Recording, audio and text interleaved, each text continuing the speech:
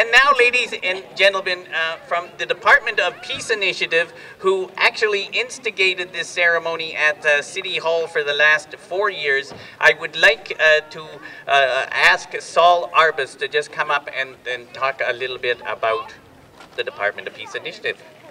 Logical.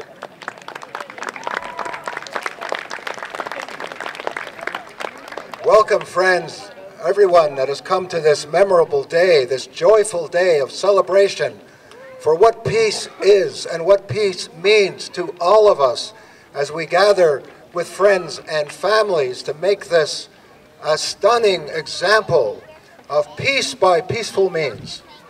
We stand at a crossroads as our species has so damaged the earth because we war against the planet as we war against ourselves.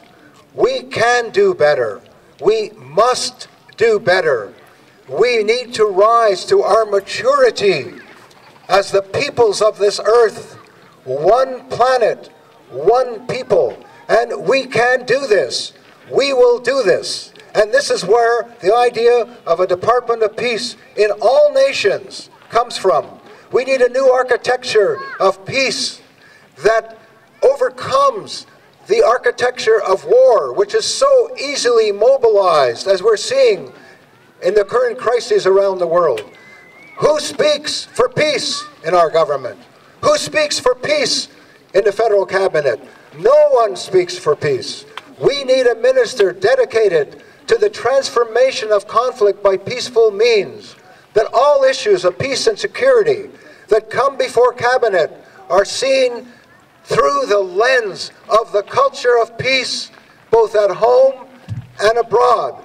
We can do this. We will do this. We will do this through this immense and profound and inspiring groundswell of support that all of the people of the earth are seeking.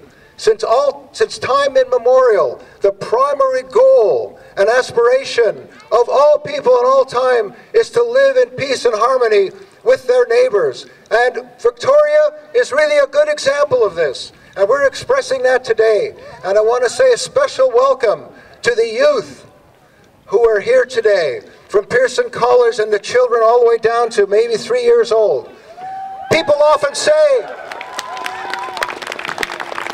often, often say to children, to youth, they say, You are the future. No, that is not right. You are the now. You are the present. You are the inspiration that will lead to change among the reluctant adults that many of us are. We can do this. We will do this. May peace prevail in your homes, in your communities, and all through the nations.